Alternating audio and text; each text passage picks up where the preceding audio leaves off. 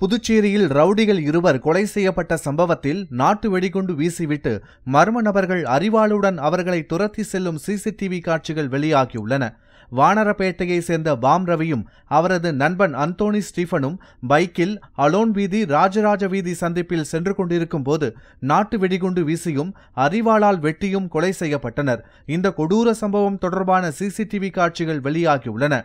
Bomb ரவியும் Anthony ஸ்டீஃபனும் இருசக்கர வாகனத்தில் வரும் தெருவில் எதிர் திசையில் இரண்டு இருசக்கர வாகனங்களில் வரும் மர்ம நபர்கள் இருவர் மீதும் முதலில் நாட்டு வெடிகுண்டை வீசுகின்றனர். அவர்கள் நிலை தடுமாறி கீழே விழுந்து எழுந்து ஓடத் தொடங்கியதும் அறிவாளை தூக்கியவாறு துரத்தி செல்கின்றனர்.